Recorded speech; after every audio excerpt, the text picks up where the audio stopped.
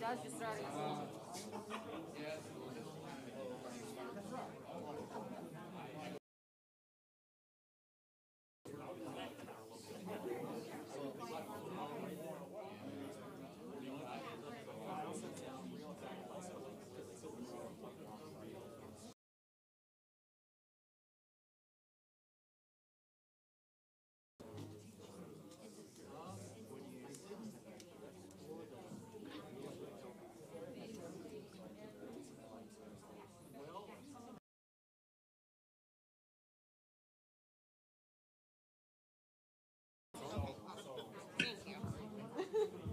Just, just. Can everyone hear me? Yes? Okay, excellent.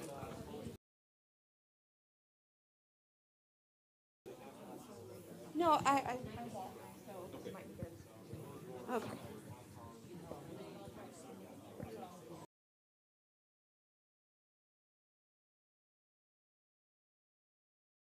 To our first paper session 1A.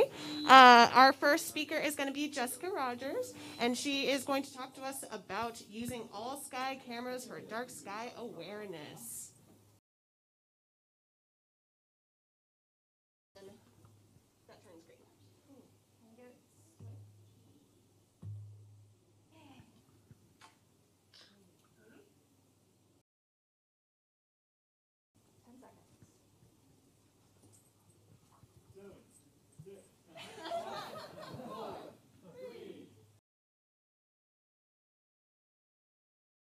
Yeah, that definitely doesn't make me any less nervous. Um, hi, everyone. Um, Jessica Rogers, uh, the director of the Marshall W. Alworth Planetarium, the University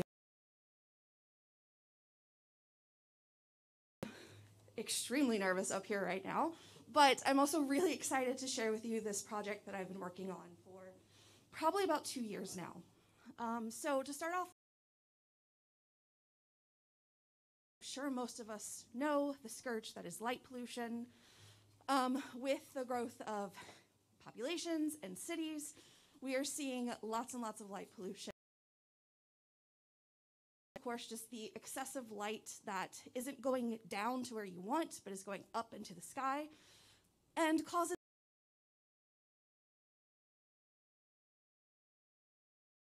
celestial objects. Now, there's more effects than just that.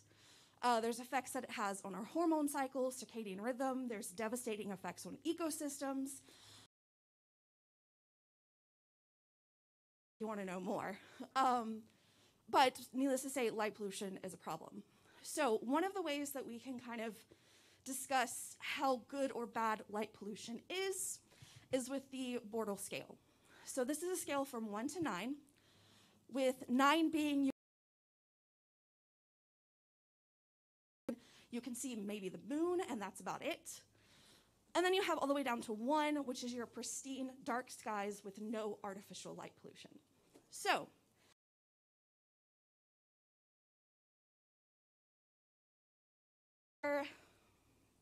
pinks and reds and whites, those are your inner city. And then your grays and blacks, those are your pristine, your ones and twos on the Bortle scale. And for the eastern half of the US, it's bad. There's lots of light pollution. Um, and that's because it's very densely populated. There's a lot of people who live here. However, if you take a peek right up here where I'm at in northern Minnesota, we are very fortunate to have level one pristine dark skies in the very, very northern parts of Minnesota. Now, part of this area is a region we call the Boundary Waters Canoe Area Wilderness. I'm just going to call it Boundary Waters. This is a portion of the Superior National Forest. And I'm bringing this up because the Boundary Waters last year was awarded uh, International Dykes, International Dark Sky Sanctuary status, um, which is it's a big deal. Uh, there are 15 of these in the world and the Boundary Waters is the largest of those. Um, and it's, it's in my backyard. So, because of this, because of the dark skies we have, um, my planetarium does a lot of work on raising awareness for the unique opportunity that we have and trying to explain why we want to preserve that. So, we have a bunch of events that we do. These are two of the big ones our Dark Sky Caravan and our Dark Sky Festival. But the one that I want to talk to you about is our newest project. Um, and so this is in collaboration with the Gunflint Trail Historical Society. We have placed an all sky camera up on the museum of the Chik-Wauk Museum and Nature Center, which sits at the end of the Gun. Location was picked because it is right here, right? My hand is shaking so bad, I'm sorry. It's right on the edge of the boundary waters, so right at those level one dark skies. But it's a staffed facility, so we have someone that can maintain the camera. Uh, so, this is our camera system. We are using an Alcor Omega 3C all sky system. Yeah, I have to look because my mind's blank. Um, ASI 178 MC camera with a 2.5 millimeter all sky lens. And it's all situated in a sealed, climate controlled dome with a heater because northern Minnesota in the winter gets very cold. Um, so we have that heater in there so that it can function all year round.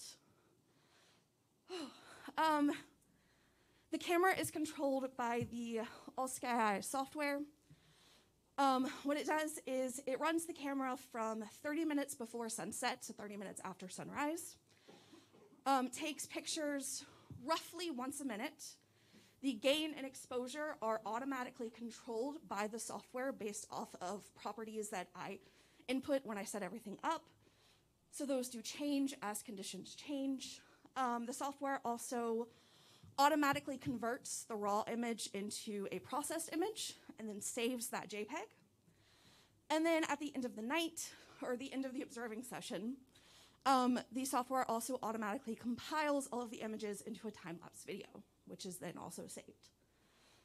Um, so, the public facing side of this project launched at the end of July. Um, so, we have a web page for the camera that is hosted on my planetarium's website, and you, that's the web address up there. Um, on the web page, you can find information about the camera, our partners, its location. You can also find the latest image that the camera took, so you can get kind of a, a live view of what's going on during that active period. It also shows the latest time lapse video that was compiled and has links to archival data. So, past images, past time lapse videos, all of that. Um, in addition to the web page, we also have a Facebook page for the camera. Um, every time that we have a time lapse video uh, that is compiled, it is automatically uploaded to Facebook and then automatically posted so the followers of the page can see it. We also use this Facebook page to um, announce uh, exciting things that are happening. If we happen to see, hey, there's a lot of cool stuff going on tonight, you should go check out the website, go see what's going on, um, or just give you know updates and things on the camera. All right. So let's get into our results. Um, this is one of many, many, many absolutely gorgeous night sky images that we got from our camera. Um, you can see there's a little bit of clouds down there, but for the most part, I mean, stunning. Which is why we have the camera up there at the edge of the boundary waters. Um, but the other benefit to having the camera up there is proximity to the aurora. And last week, we had stunning display. Now, I got excited and I went ahead and posted it to Dome Dialogues. Um, so if you've already seen it, I hope you don't mind seeing it again. If you haven't seen it, just wait.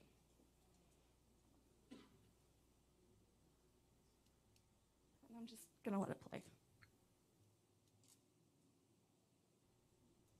So this was back on um, the night of November 3rd.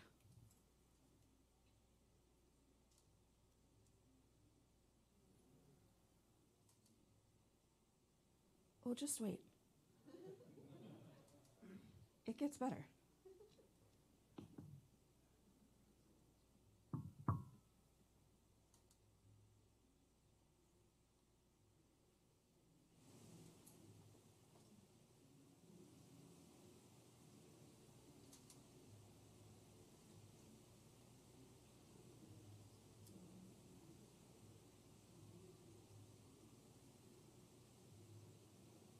I have watched this hundreds of times and I still am not tired of it.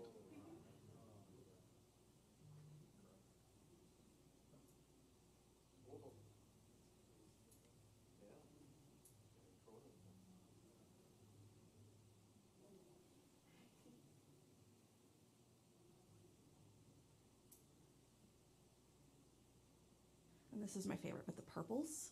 Like the purples, oh, it's so pretty. So that's what our camera does.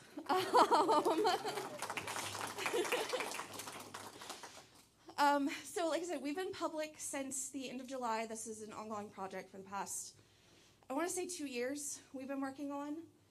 Um, since we went public, the webpage has had a decent amount of activity. I unfortunately don't have the stats since the November 3rd um, Aurora, so I don't know how much bigger that number is right now. Um, I do have it for our Facebook page though. Before the November 3rd, we were at 70 followers. After, we're at like 260 now, which is awesome. I'm very excited about it. Um, we've also had our challenges being remote location. We've had power issues. Um, we've put a battery backup in that seems to be fixing. I'm also in a struggle with YouTube right now. Don't want to get into it. Um, but future plans, um, we have improvements we want to do to the webpage. Obviously, lots of ways we can implement the data and videos and images and stuff. Um, but the biggest next step is we have purchased a second camera that is going to go on the roof of the planetarium in Duluth and be used to really highlight the difference between a light polluted sky and those pristine dark skies up at Chik-Wauk. And I'm done. Thank you. So, yes, if you have a question, raise your hand and I'll bring the microphone to you. Be sure to talk into the microphone for our online folks and recording and whatnot. I saw that you had a comment online from someone who wanted like a flat screen view of it. Um, do you know what I'm talking about? Do you know why they might appreciate that view instead of the all sky? Because I know like us as planetarians love that full dome kind of effect, but how might the public enjoy the other type of view? I think seeing, right? They're used to seeing the square, flat pictures. Um, so it can be a learning experience to learn what the all sky view is. A secondary camera. Um, but yeah, that's something that I honestly hadn't even thought about until we had that comment. Um, so you're presenting this at a. Uh, are there any restrictions to how a planetarium might use your uh, data? It is uh, all of the images and video are open to the public to download to give us credit.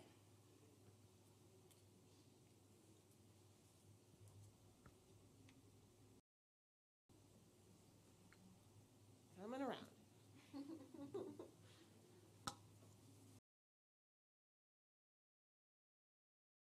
Jessica, I was just wondering, uh, are you running? Is the camera uh, not running when it's cloudy? Will it automatically turn off, or are you just running it consistently? It it runs consistently. It's moving itself when it's cloudy. It's still a really cool video.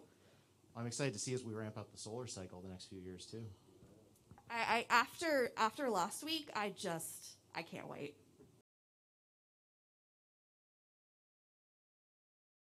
Question is about uh, maintenance of the window over the top of the camera.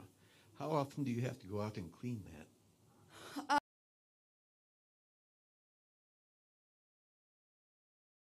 There have been a couple of nights where I get jump scared by suddenly there's a spider sitting on it. Um, but yeah, we really haven't had any issues with.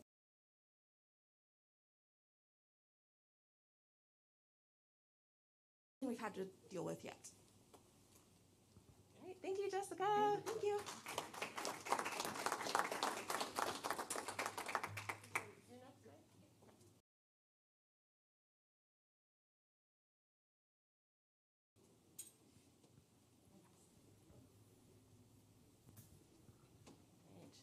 So next up, we're going to have Erin Brady, and she's going to be talking about creating a.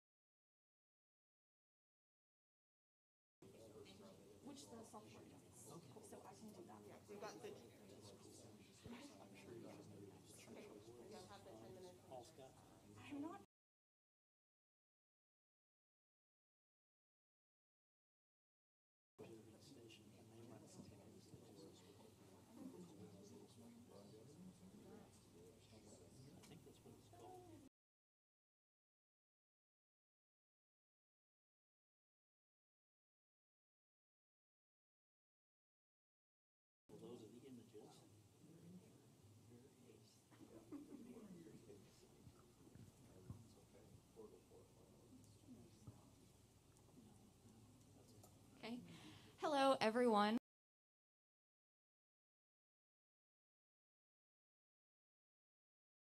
Carolina, and today I'll be talking about creating a personalized experience that is unique to your planetarium. So we are still relatively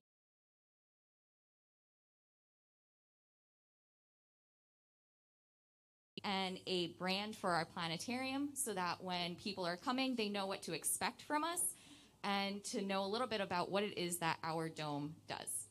Since while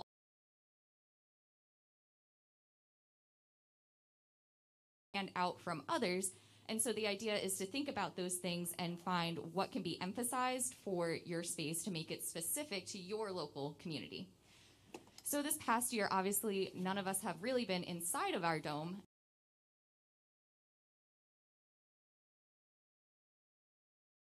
are we having connection with our audience? If it's a live remote show, obviously you're going to be talking to them, but even by sharing something that's familiar to them. For example, if it's with some elementary school group, Boy Scout, Girl Scout troop, there is some elementary school building or a meeting building that is going to be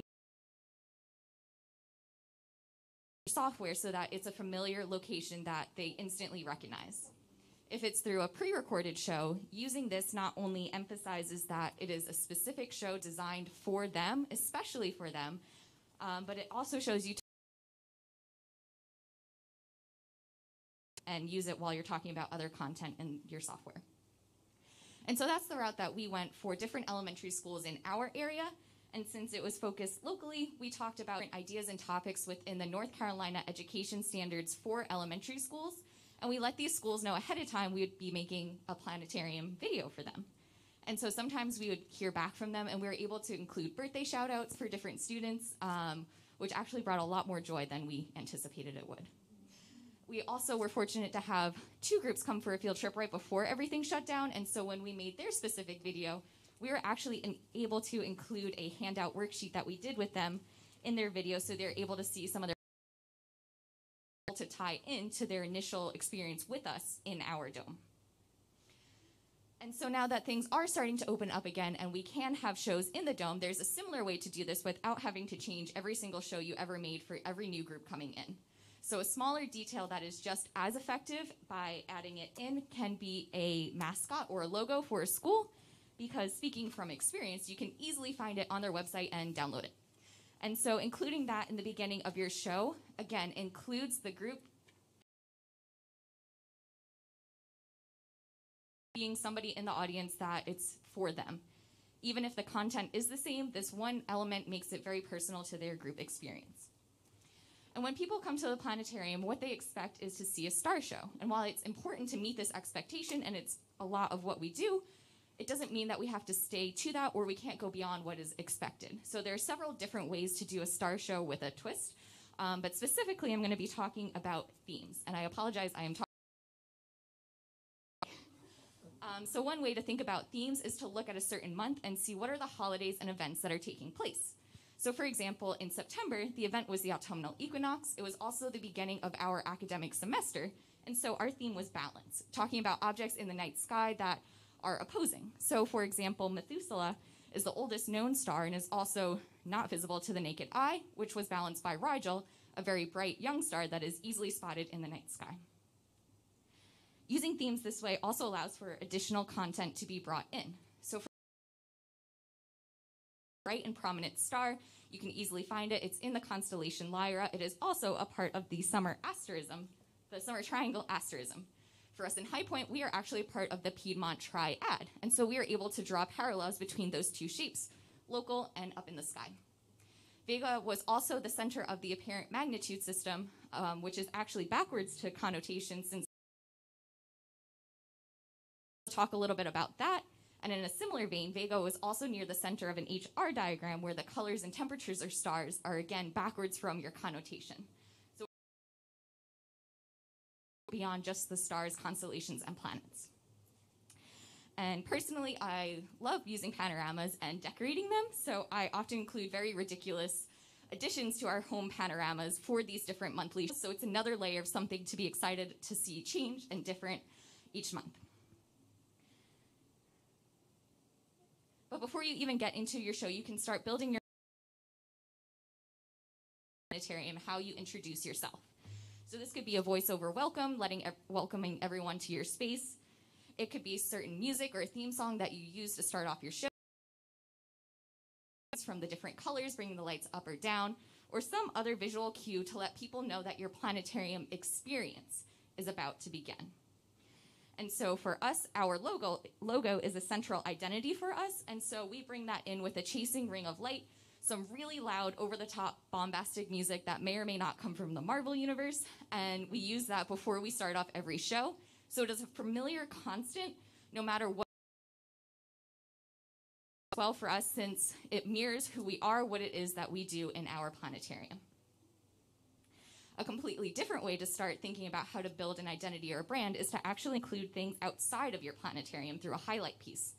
So this could be something as the history for a certain event that's going to be taking place in your town or in your um, building. It could be different events and activities that you or other it could be a new or temporary exhibit that'll be opening up that you want to let people know about, or different academic or athletic achievements by your school or the local high school. And since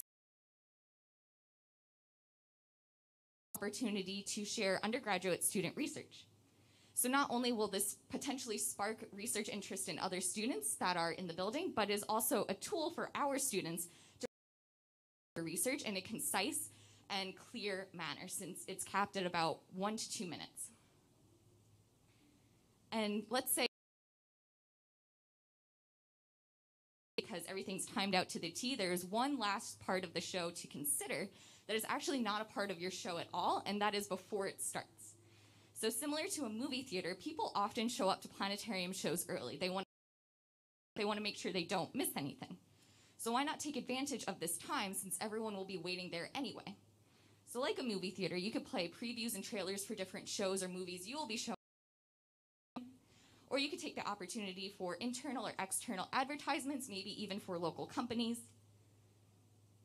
Or you can use this for content, astronomy fun facts, some kind of trivia, or other resources that are available for people that are in your audience. Or this could be the perfect time to include one of those highlight pieces. Since we are in our natural sciences building, we have a lot of research facilities in our building. And so we actually have a pre-show slideshow where we show full dome images of our different research spaces and places, which is especially useful for our prospective student events since they are often not able to get into these different spaces on their own or during this one day on that visit. Um, and so the main idea with this is that there are unique things to your planetarium either that you do and you would like to highlight or that you can start to emphasize to community. This is by no means an extensive list. This is just what we have found in our short two year lifespan so far that have been pretty easy for us to do as a two person who collectively make up three quarters of a person, actually, um, team. But it has been very effective in establishing who we are, not only in our building, but across campus and what we do and how we operate. Thank you.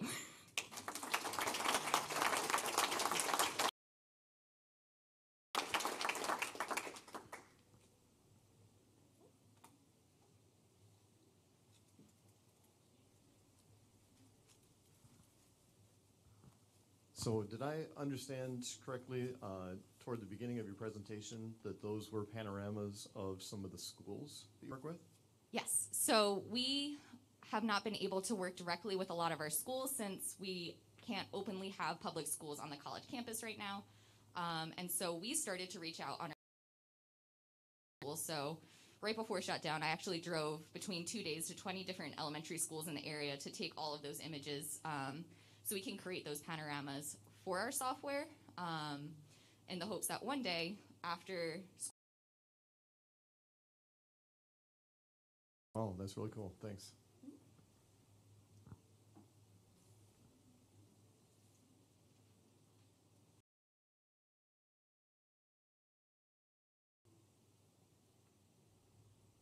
Any other questions?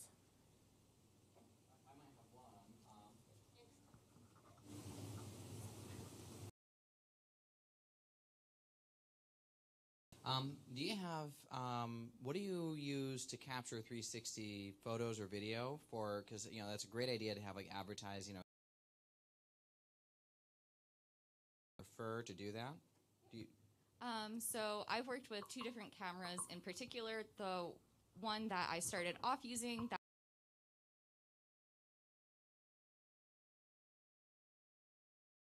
I need to use the one for those hemispherical images.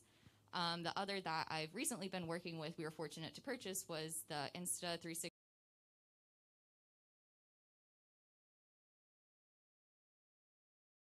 Of course, a little bit more pricey.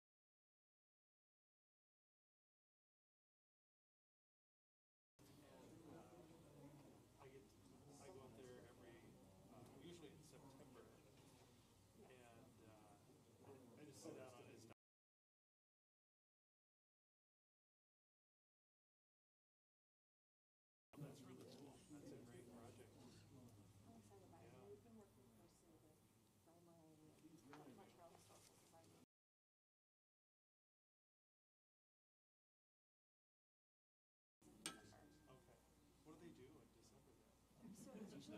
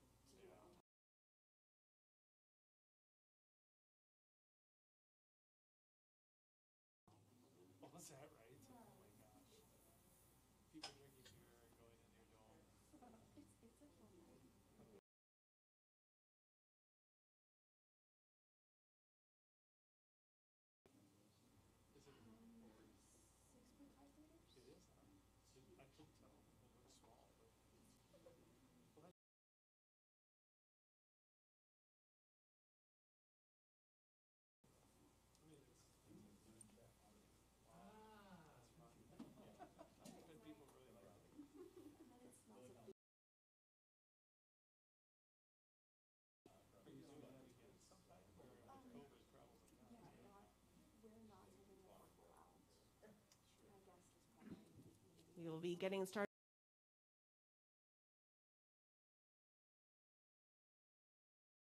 Planetarium, smart telescopes, and internet for real-time astronomy. So we'll get started in 52 seconds.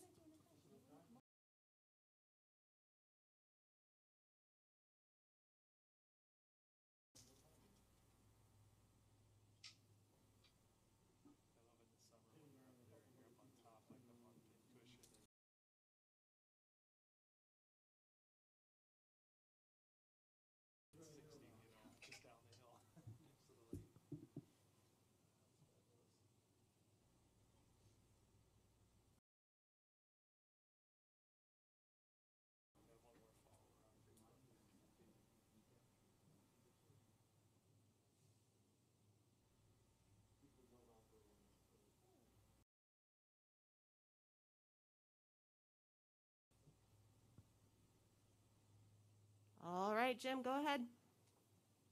Okay, can you hear me okay?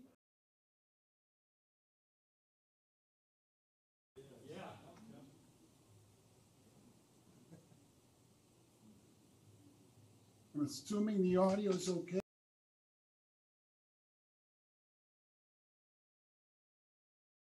Talk at length at one time. Well, hello, everybody. Thanks for having me remotely. I really, really wish I could be there. I miss seeing a lot of you. I just couldn't make it this time. Normally, I work on really large planetariums, uh, like the one in Shanghai recently, Air and Space Museum. And when the wound up, although I was still teaching, uh, receiving a received a smart telescope, and uh, started to do what I call plein air planetarium. Uh, and you'll see why. It's because I started to use this telescope for outreach programming, other programs I could do, and I found out that it was a lot like operating a planetarium. So spoiled generally because we don't have. Uh, let's see, how do I advance? Okay, because we uh, we can create artificial skies, but everyone would admit that having the real sky available, uh, like uh, Jessica, your talk was fabulous. Of being up in Minnesota, uh, I liked your talk too, Erin. But having that dark sky in Hibbing really looks fabulous. Even if you're in a in a city, and I've been in a city, I've been in New York and observed from the rooftop of my building. Uh, even that contact with the real sky is really terrific. And a lot of people do programs with that. Uh, so what I'm going to do is talk to you about the use of the SMART telescope to do these sorts of programs. I'm going to first talk to you about the challenges of doing real-time astronomy under the real sky. I'm going to show you a little bit about how a SMART telescope works, at least the one I have, in case you're not uh, familiar with them. I'll show you some of the things I look at. Then I'm going to show you the types of programs I worked on or the types of programs I think could really work out nicely with these. Then finally, I'm going to tell you the lessons I learned. I've done a bunch of programs both remotely, over the internet, and in person over this last uh, 22 months, actually. So everyone who's done any sort of observing program knows the challenges involved. First of all, clouds. Uh, they're, they're always happen exactly when you don't need them. Uh, they're often challenging events. I mean, I loved your camera, Jessica. In fact, I'm going to share some of that stuff with people because although a lot of people want to see the aurora, the meteorites, or I mean meteors or comets, they may not happen, eh, or they just don't produce the way we would like. Uh, light pollution, of course, is the plague that we all live under uh, that challenges everything. And the moon and the planets, which are the usual objects people go for, they're only available uh, well placed for public programming at certain times of the month. And then telescopes and their equipment can be relatively unmanageable.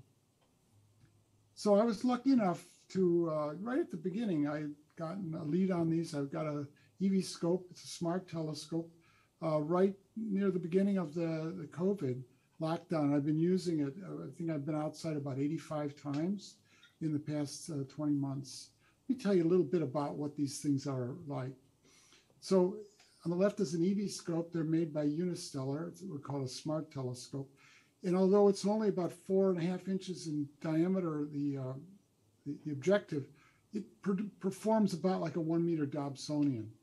And it's they're also lightweight and, there, and there's no wires attached. I had some amateur say to me, he said, well, where's the wires in the battery supply? I said, we really don't need those.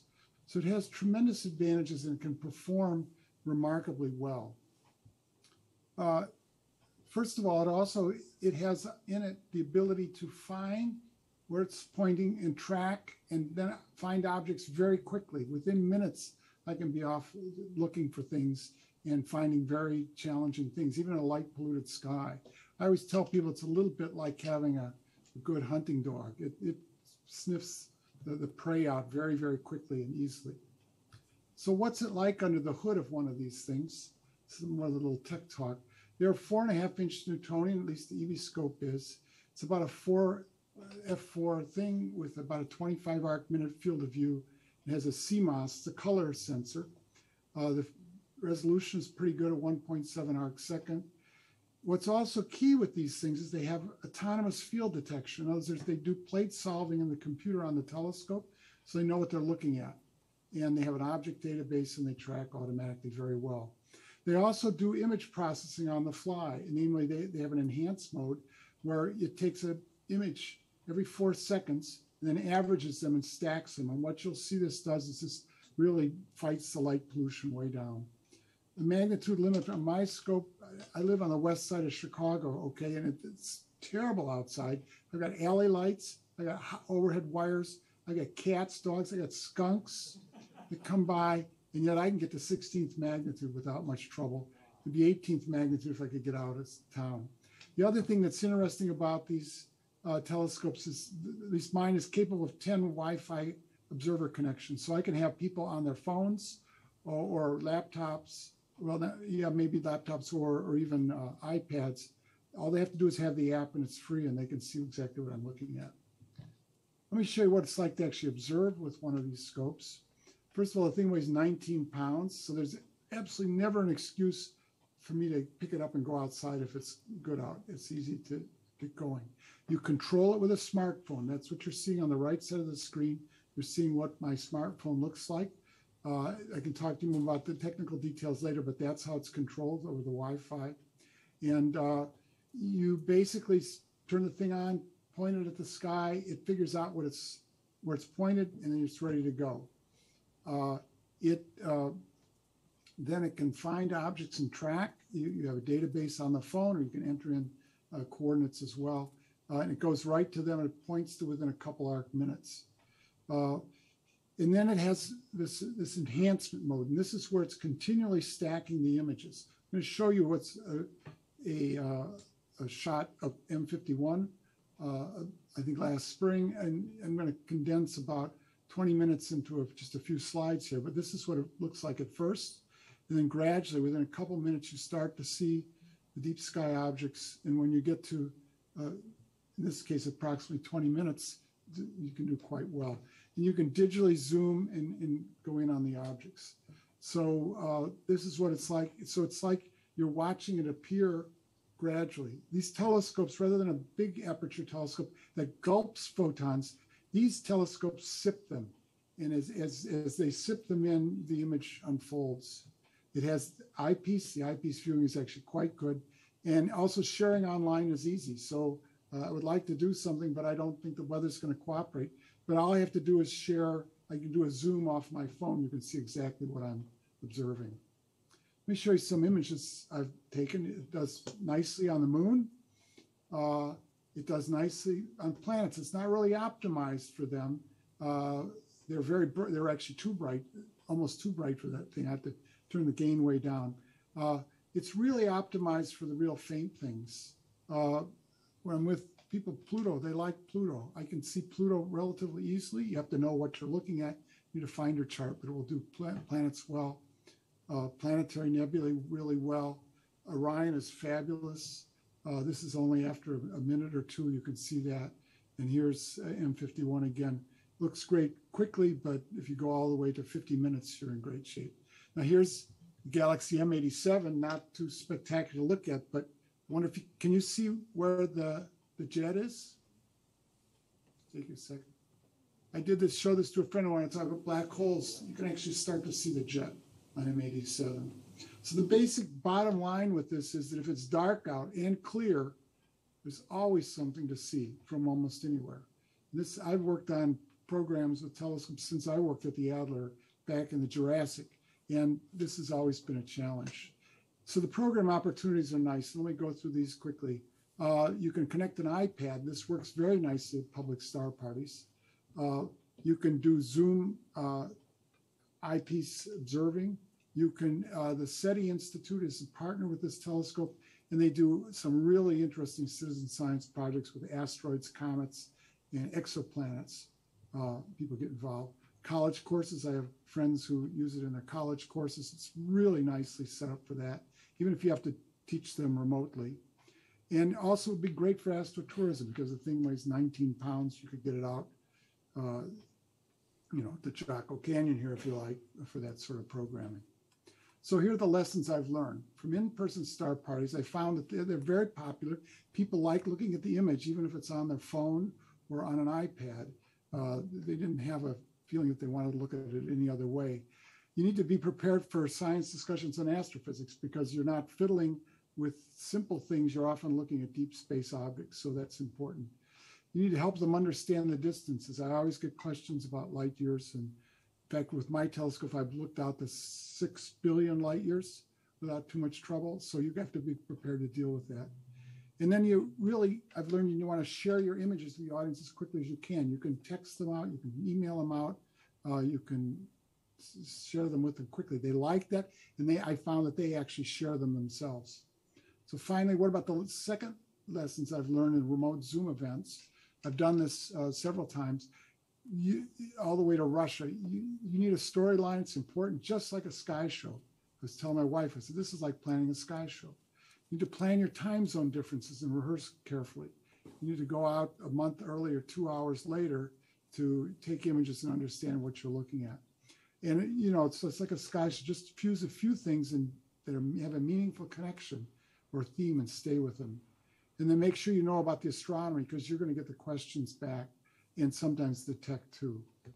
Anyways, I want to thank you. I'm happy to answer questions here, or you can ask, write to me online. Uh, uh, I want to thank you and wish you have a nice follow-up meeting. I'm looking forward to seeing a lot of your papers. Thanks. Thank you, Jim. I had a question for Jim. Okay. Hey, Jim, you said that you are streaming to Zoom off of your phone. Um, Yeah. You have to connect to the telescope using Wi Fi, so are you using the same exact device to connect to the telescope as you are to host the Zoom meeting? Yes. Uh, what I use is uh, right. So the phone only makes one Wi-Fi connection. That's how you control the, the telescope. Telescope is an onboard computer that basically does the image processing, finding objects, and so on, and tracking. The the phone has GPS and gets the time that, that you need. So what happens is you use, in my case, the AT&T digital connection out to the internet. So you you couldn't just take an iPad that only has a Wi-Fi connection. That won't work. You need a cell connection as well. Okay, so with the cell connection on the iPad, I can just then connect online as well. Right. Yeah. Right. Okay. Thanks, Jim. You're welcome. Dr. Sweitzer, I have a question real quick. Did I understand correctly that this telescope self-orients itself? You don't have to say this is Vega and that is Altair. You just turn it on and it finds itself? Yes, it's it's like that dog. It has what's called plate solving software in it. So basically, you turn it on. You got to make sure you're focused. There's a couple things you have to worry about to get started, but it takes me 10 minutes to get going. Then you just point it to an open area of the sky where it can see stars, and you tell it to, to field locate. And it takes about a minute. And it, it dithers around a little bit, uh, and uh, it, it does a process called plate solving. And it says, I know where I'm pointing. And from then on, you can go on the database on the phone for the objects. You can enter the object name in if it's an NGC object, a Messier object, or even just the coordinates. You tell it to go, and it goes right there. And, and once you're on, then it tracks. It'll tell you that. So it is like a good hunting dog. All right, one more quick question. Jim, it's Mitch Luman in Evansville. You you and I have been working together on these eVscopes for the, most of uh, this spring. Uh, could you explain to everybody uh, the the uh, how easy it is for people to put this app on their phone? Uh, I, I thought that people wouldn't want to put this strange app on their phone to use it, but I'm just so shocked that people are just so eager to do this. Could you explain your uh, experience with that? Uh, you know, loading this app on their phone. Right, you're exactly right, Mitch. Uh, people will. If I'm going to a star party like in Naperville, where I go, I'll tell people ahead of time, and some people will install it. Doesn't it's not a huge app. It's not hard to install. Doesn't cost anything. App, then they can connect through the Wi-Fi to the scope. The scope will handle 10 uh, Wi-Fi connections. I'll be the operator. The others are called. save the, they can save the images themselves uh, and so on. So yes, th- that has been an interesting uh, surprise. Awesome.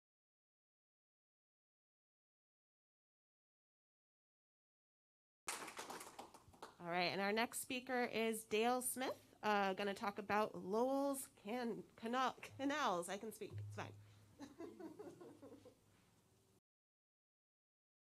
How would you like your two-minute warning? Would you like me to say something or just?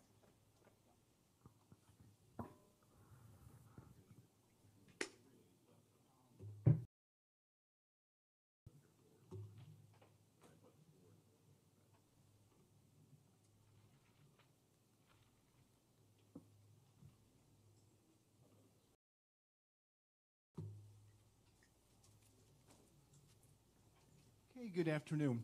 Percival is a name that we all know. We know that he had a lot of things wrong. He also had a lot of things right.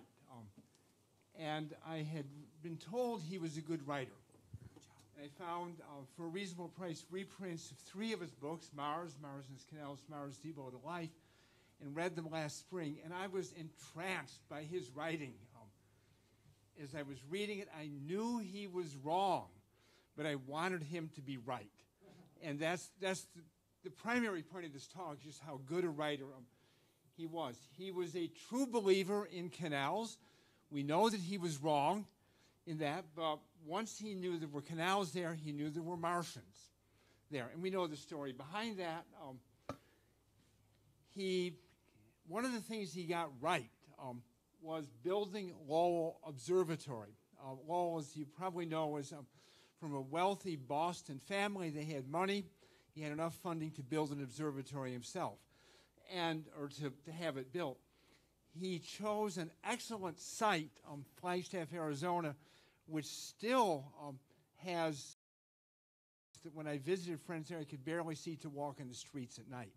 But he knew to build at a high altitude site. Um, flag is up at about 7,000 um, and some hundred feet. Um, he knew to build in a site where there was no light pollution. So he, those were two things he had very right.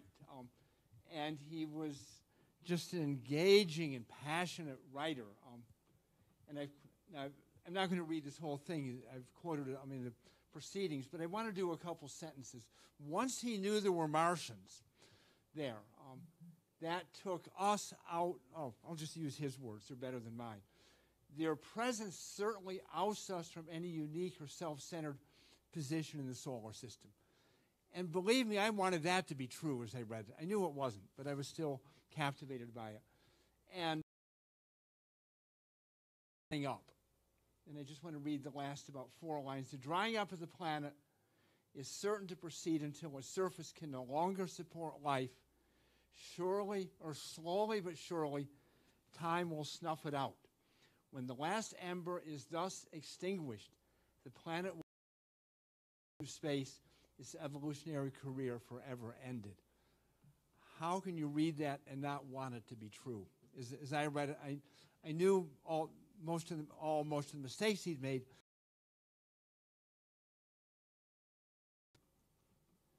His hero was Schiaparelli, um, the Italian who first saw lines on Mars, um, called them channels. The Italian word for channels is canali. As we know, that's readily mistranslated in English as canals. Um, and here is, I forget which book this is from, but this is Lowell's dedication to Schiaparelli, um, the Columbus of the new planetary world. Back in the days when we said that Columbus discovered America, we know the, uh, the history of that uh, phrase. What Schiaparelli thought of all this, I don't know, but um, he was Lowell's hero. Um, a little bit about the canals. This you all know um, ahead of time, I suspect. The canals ran from the, the wetter polar regions down to the desiccated equator. They were irrigation canals. Um, and Lowell saw that many of the canals were doubled. You can see that in this uh, drawing. The canals met at nexus points, but Lowell had a better phrase. He called them oases. And oases is a much more evocative word, at least to me, than is the geometric, sort of boring nexus points. Um, Lowell knew uh, that the canals carried vegetation, which advanced as the seasons progressed. You can see the, um, the change in the canal's darkness and color. Um, moder- ch- changing as the seasons progress, starting up near the poles and working down toward the equator. This obviously is an artist's conception. Um, but Lowell knew that the changes in color, of course, um, had to be advanced vegetation. Wrong, yeah, but very, uh, very attractive.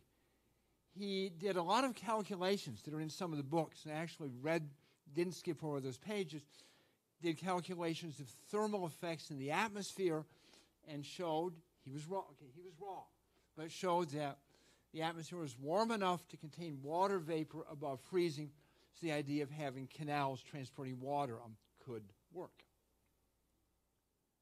And then two of the intriguing things. Um, we all know that he was he was seeing illusions, okay, but he was aware of that possibility, and in one book he had fairly extensive sections showing that what he saw were not illusions um, from his viewpoint. And notice uh, the sentence that got highlighted here in um, yellow. The whole the whole quote will be in my proceedings article, but the Martian canals, when well seen, are not at the limit of vision where we easily get, get fooled. So Lowell considered the possibility he was seeing illusions and was able to show, uh, to his content at least, that he was not seeing illusions. And then what about photographs? Lowell claimed that the canals had been photographed. Now, this was you know 110 years ago when films were a little bit slower and while the eye, well, our eyes can work at a speed of roughly a twentieth of a second, um, the camera's image is cumulative. Longer exposures were needed back then, but he described um, taking taking um, images of Mars and going into the dark. Those of us who use darkrooms know that when you pull the film out of the the developer in the bath um, and the, the fixer, the excitement of seeing that you actually have the image and lo and behold, there were the canals in his images. So, two of the um, areas we think he got fooled in, we know that he got fooled in them, were illusions and photography of the canals, but he considered both of those. Now, unfortunately, in all three books I read, there were no reproductions of his canal photographs. I was sort of frustrated at that. But one of the people he hired at Lowell Observatory, E.C. Slipher, a name some of you will um, recognize, published in 1962 um, a book on photographs of Mars over the, the decades. And here are his images, and I haven't reproduced the caption here, but um, he's claiming to have seen lines on Mars. Maybe um, this image, you can um, see some lines on it. So, so, so Slipher backed up Lowell's claim that the canals had been photographed. And finally, there were canals, or there were at least lines on Venus as well. Um, on the left is a, a, drawing by Lowell of lines on Venus. He was observing with a 24 inch telescope that he stopped down to three inches to F120 F120, that's not a misspeak. And an exposure time of, I think, or I'm sorry, magnification of, of 144. Well, I'm not an optometrist or ophthalmologist, but any ophthalmologist or optometrist, especially an ophthalmologist, uh, when they see this drawing, realizes that they are seeing um, the retinal patterns in the human eye. So Lowell was observing his own eyes. So he got fooled in a lot of ways. But he was this incredible writer. Um, they did the writing quote at the beginning so that point wouldn't get lost. And, and I just found myself, I knew he was wrong, I knew where he was wrong. I wanted to believe what he, what he wrote. Um, and one final point that's not really connected um, with the canals, but think about Pluto. We all know the story of Lowell and Pluto and the mistakes he made there. But suppose Lowell had not believed there was a Pluto and hadn't hired Clyde Tombaugh, and Pluto wasn't discovered in 1930. We didn't know about the Kuiper Belt objects until the 1990s. How would planetary science research have been different without that? So Lowell had a lot of mistakes, but he's had, I think, in many ways, a very positive legacy on planetary science and public perceptions of him through the decades. And I'll stop there and be happy to um, answer questions.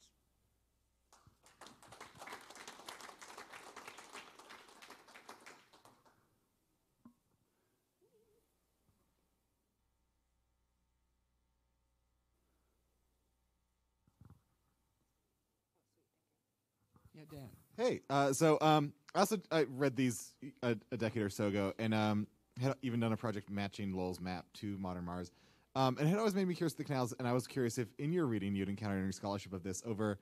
We sort of know what many of the things we think Low- Lowell saw were, but obviously there is like this correspondence between the albedo features of Mars and the oases and, and the, the the drying wetlands.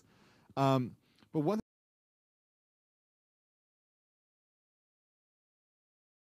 features and the canals and how much there is any room for the canals to have been based in fact on shadows from slope gradients um, or if there's a well a, Lowell's work versus just the outright dismissal Oh, good question. I I had not thought about that before, but it would, would be fascinating to look at it.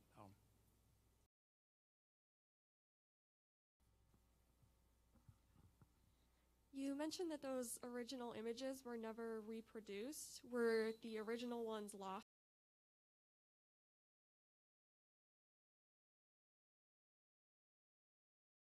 could well be wrong on this.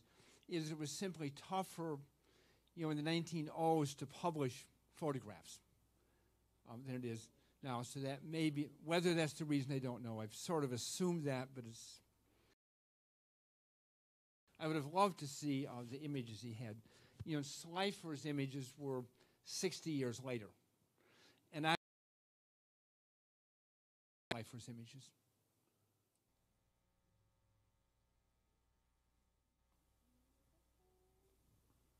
All right, thank you.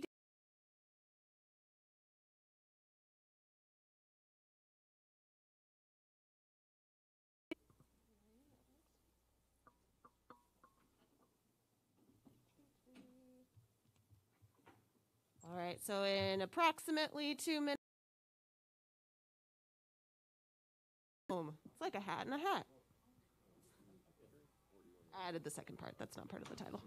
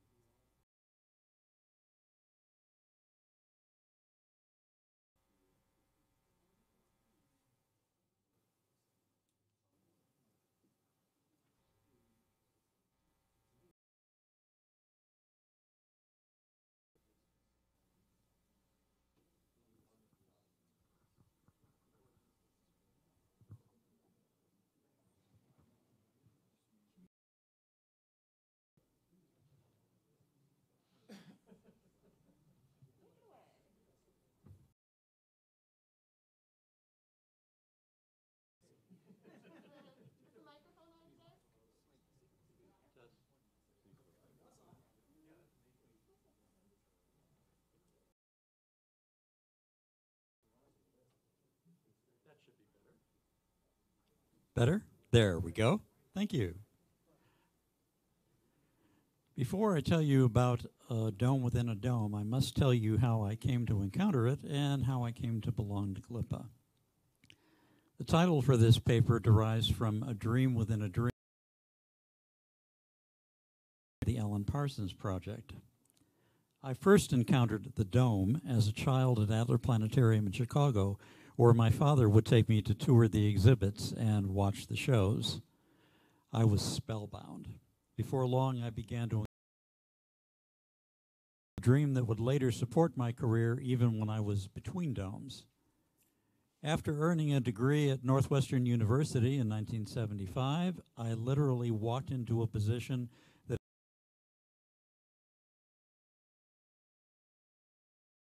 Adler in 1976 with a field trip to the Cernan Theater, so I joined GLPA. When improper construction led to building closure and layoff, I found work directing and upgrading the Paulucci Space Theater in northern Minnesota. When a funding cut eliminated that position, I relocated to central South Carolina to direct a planetarium for his historically black college. When unprofessional treatment by the college led me to look elsewhere, South Florida, undergoing complete renovation. I had dreamed for years of building my own planetarium. This opening offered the next best thing. As part of my work there, I joined SEPA and participated in IPS 1988 at Richmond, Virginia. At the SEPA banquet there, my esteemed colleagues taught me to keep my balance and to make music on unusual instruments. Toto, I have a feeling we're not in GLPA anymore. Conflict with my supervisor led him to cancel my contract, so I found work in central Mississippi with a former mentor at the site of SEPA 1980. I served as his assistant manager and then succeeded him as manager when he retired in 2001.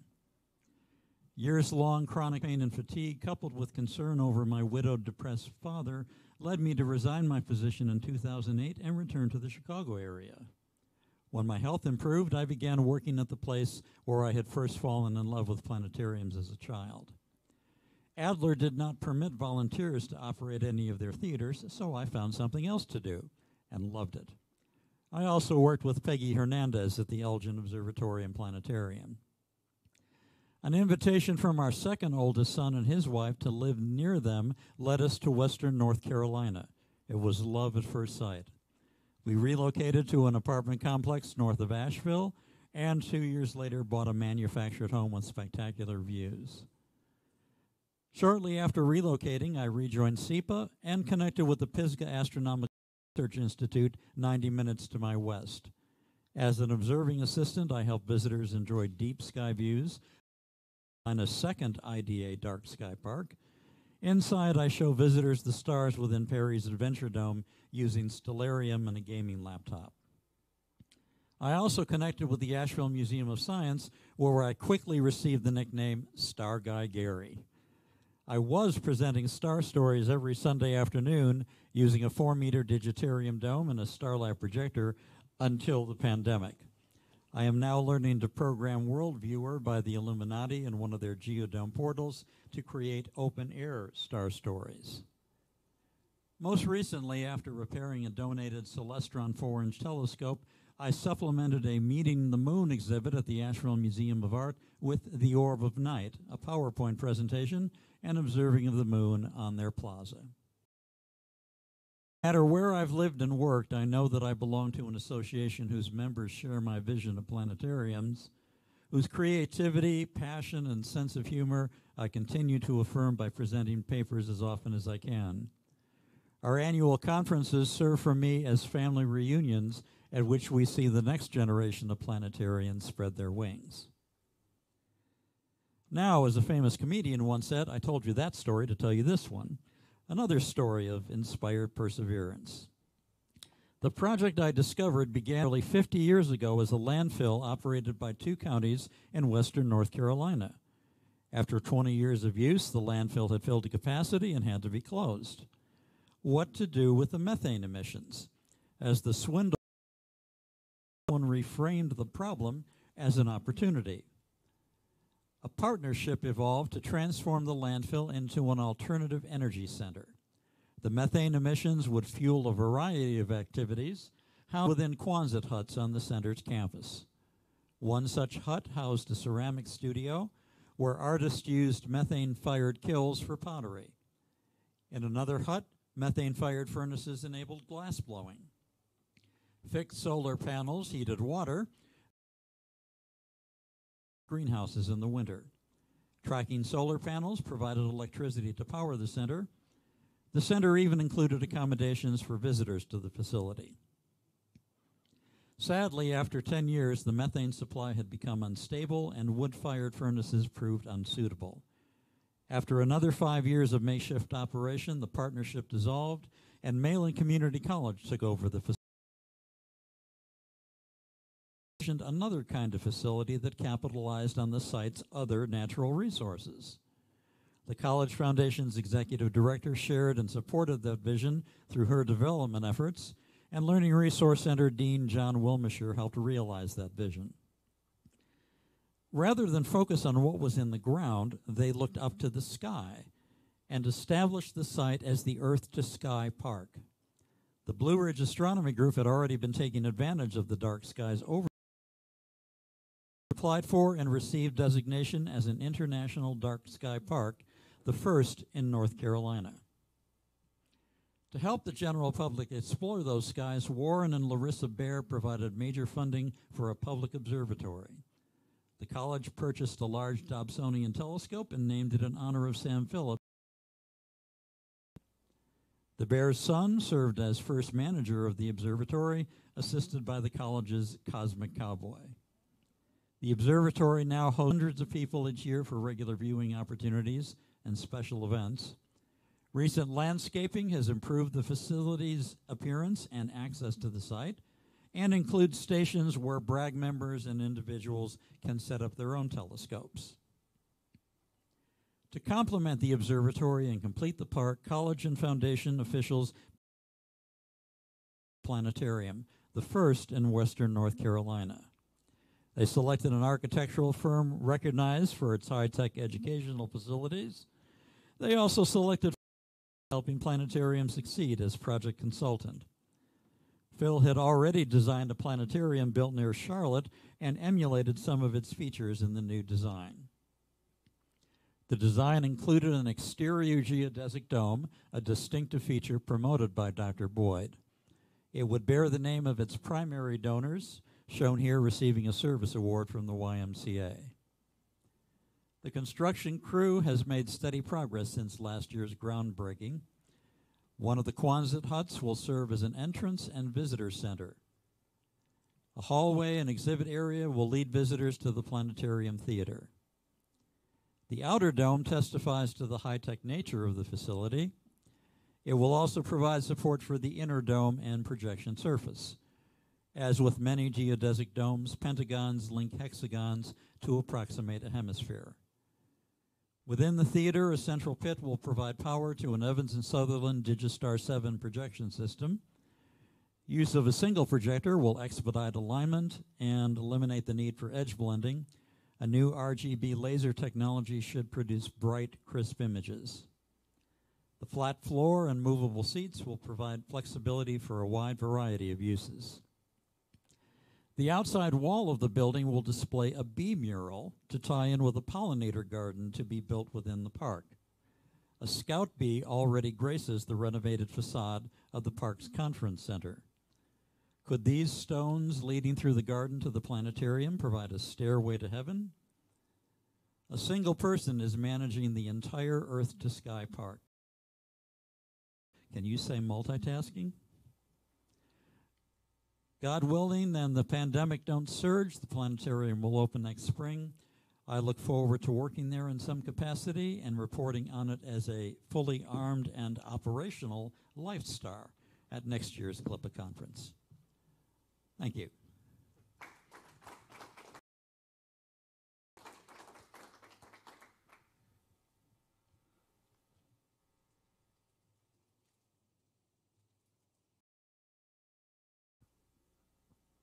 Any questions? I've explained everything so thoroughly that they don't need to ask, or are so completely confused that they don't know where to begin. All right, well, thank you, Gary.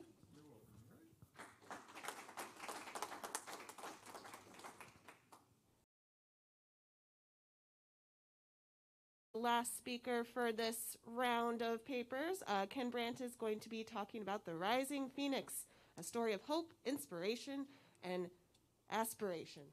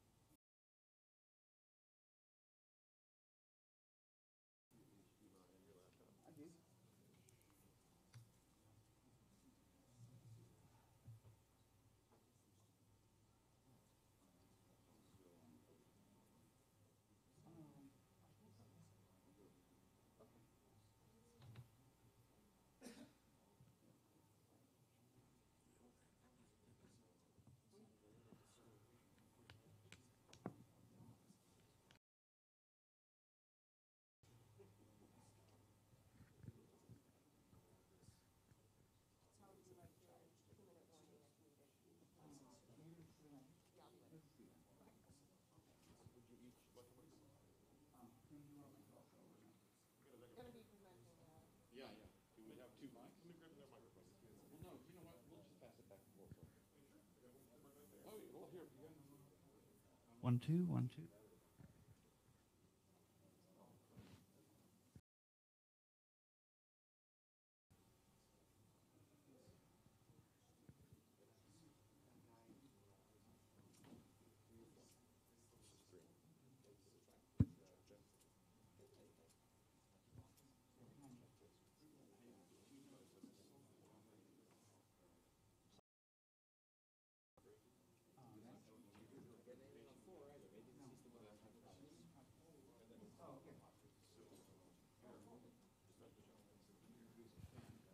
Check.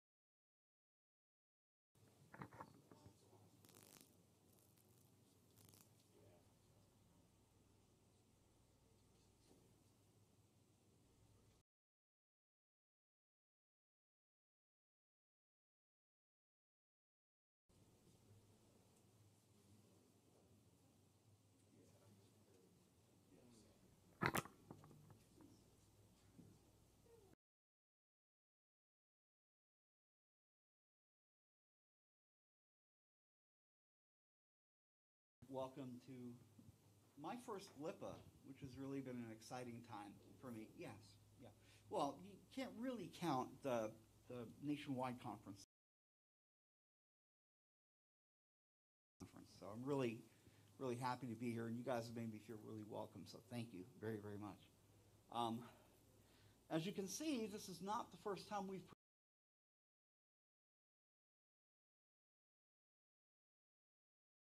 Oh wow, there's people out there, you know, and no boxes. You know, uh, hi to everybody in the boxes, by the way. Hey, how you doing? So.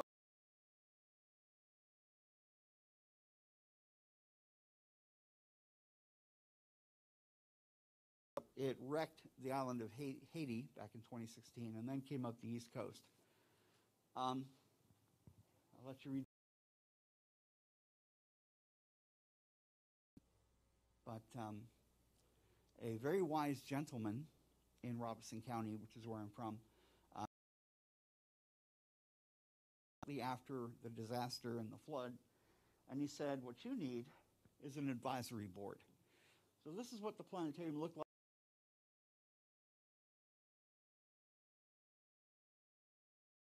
It was a lovely day, except for this whole brownish, you know, stuff here.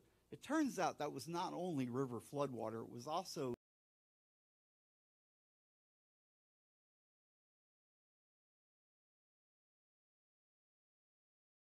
conductors in full hazmat outfits.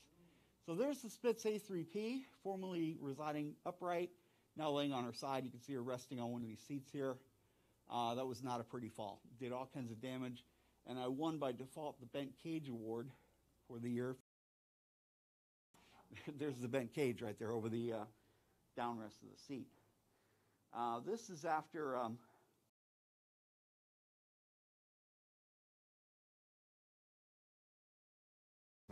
of course, you know, I was more than happy to have them do it.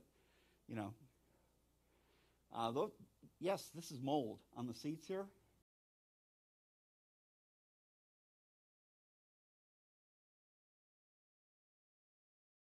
Um, this place has basically sat unventilated and just humid for five years.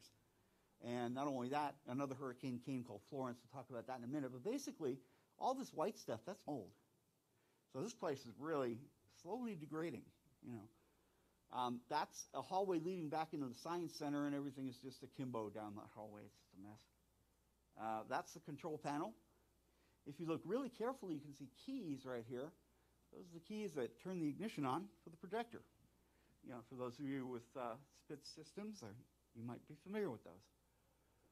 Uh, this is the logo of the Rising Phoenix. Uh, Vicki Liu, who was a senior in high school at the time when she did this um, drawing for us, um, the phoenix over here on the right is your traditional phoenix, and this is the damp component rising up out of the swamp.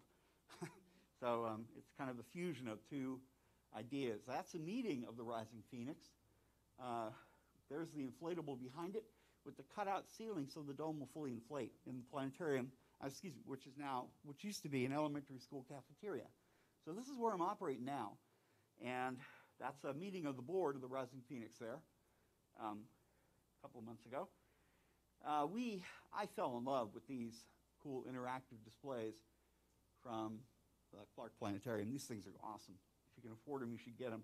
Um, and of course, the Digitalis Dome back here.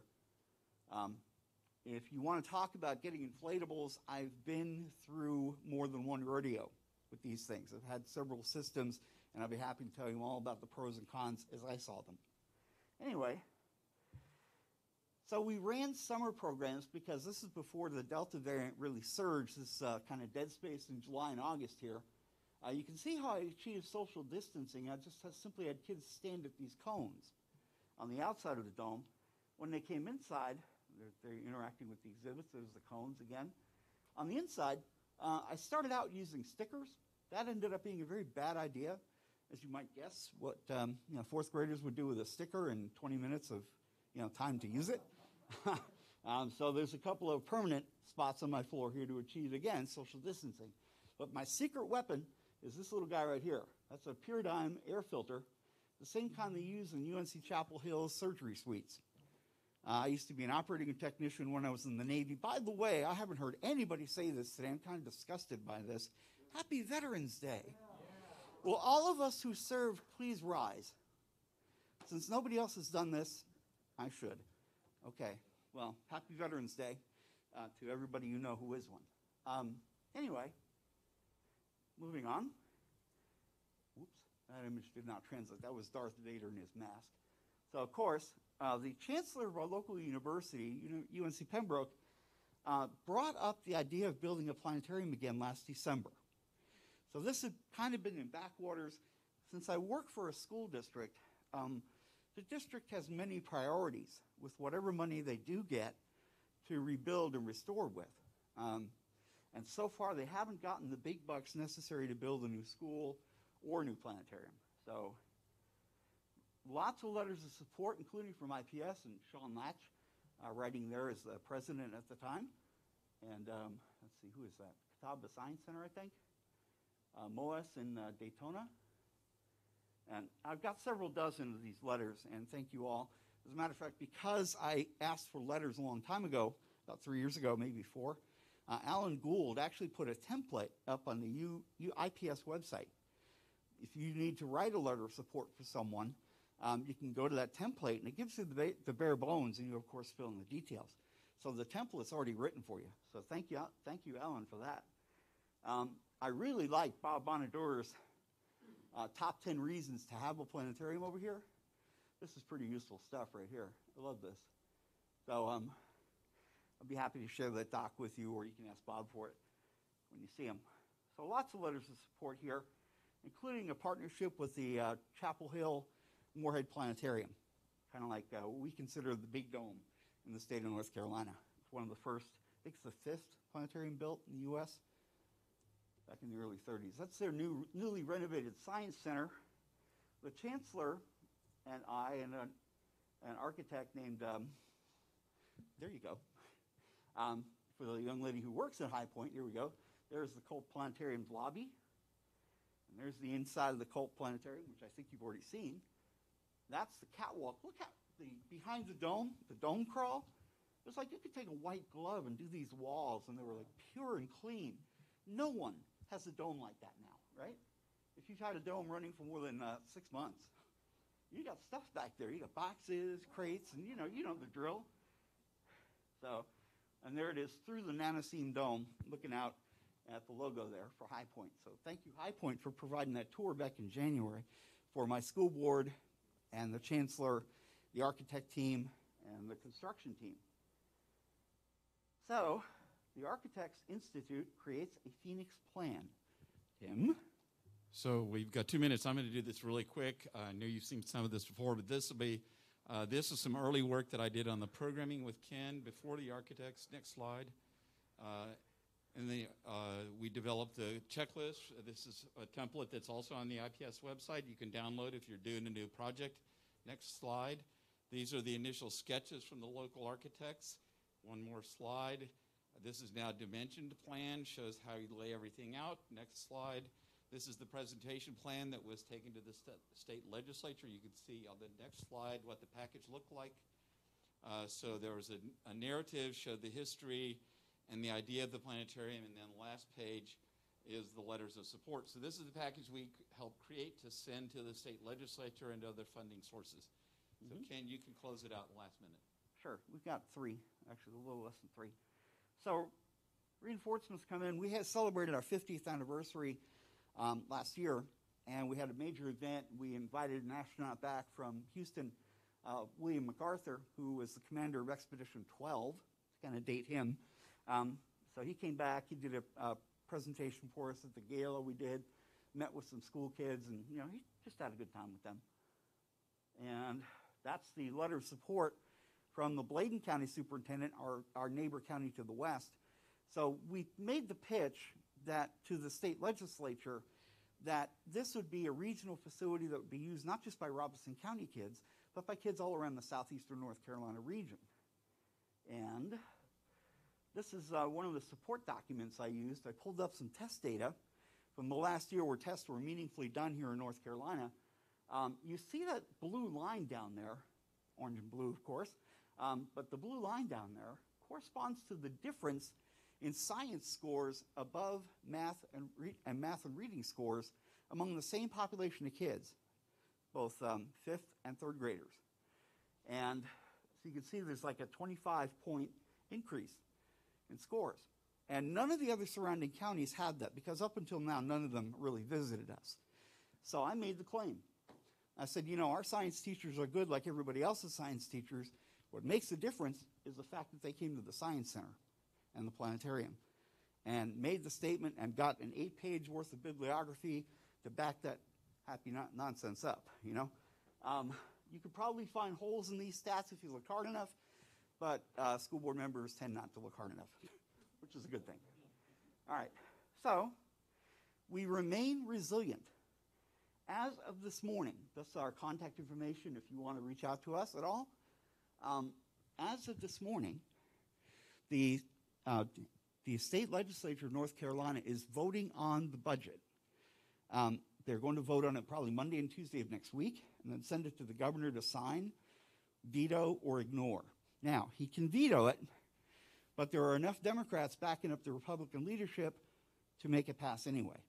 So he can veto it all he wants to, they'll just override it. Um, if he chooses not to sign it, which is probably what will happen in about 10 days, it will become law anyway. That's one of those things that, uh, with the pocket veto, I guess. Um, but it's the opposite of that because what's happening there is um, he just doesn't sign it and it come, becomes law. So in that budget is $5 million for the building of a planetarium and science center. so that's cool. Next step is also we have FEMA money laying around waiting to be uh, arbitrated by the DC law, law firm our school board hired. The guy who runs that law firm used to run FEMA. We were due 85 million. FEMA offered us four. I anticipate us getting four and a half, and about 45 or 50 million from that whole encounter. That's what that's what the budget negotiators say.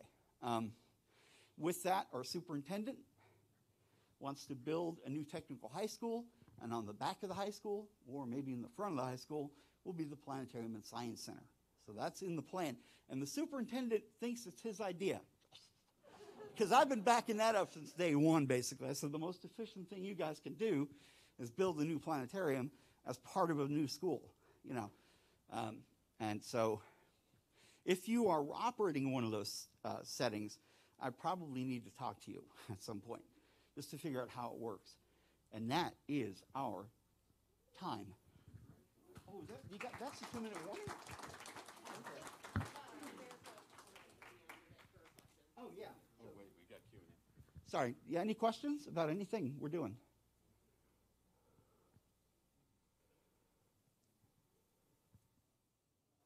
Okay. All right, thanks. All right, thank you very much. And thus concludes. Thank you. Now, is this your cable? Uh, no, that's ours. Okay. All right.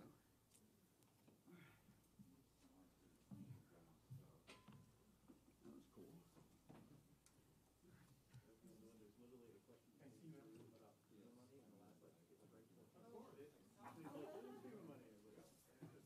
Excellent. Well, that's good.